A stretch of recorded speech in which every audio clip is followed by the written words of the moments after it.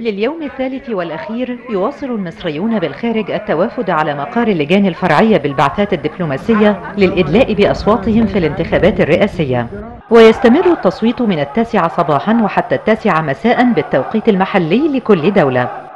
الغرفة المركزية لعمليات متابعة الانتخابات أكدت أنها تعمل على مدار الساعة لتذليل أي عقبات قد تواجه العملية الانتخابية مؤكدة انتظام وانضباط سيرها في الخارج. كانت الهيئة الوطنية للانتخابات قد أعلنت أنه يحق لكل مصري مقيد بقاعدة بيانات الناخبين ويكون متواجدا خارج البلاد خلال الأيام الثلاثة المحددة للانتخابات بالخارج سواء كان مقيما أو زائرا لفترة وجيزة أن يدلي بصوته في العملية الانتخابية وذلك بواسطة الرقم القومي أو جواز السفر الساري المتضمن الرقم القومي.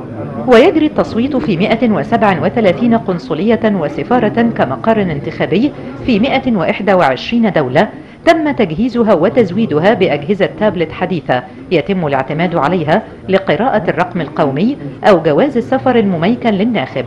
هذا بالإضافة إلى تجهيز وحدات الحاسب الآلي المتوفرة لدى السفارات ببرامج مخصصة لإدارة العملية الانتخابية.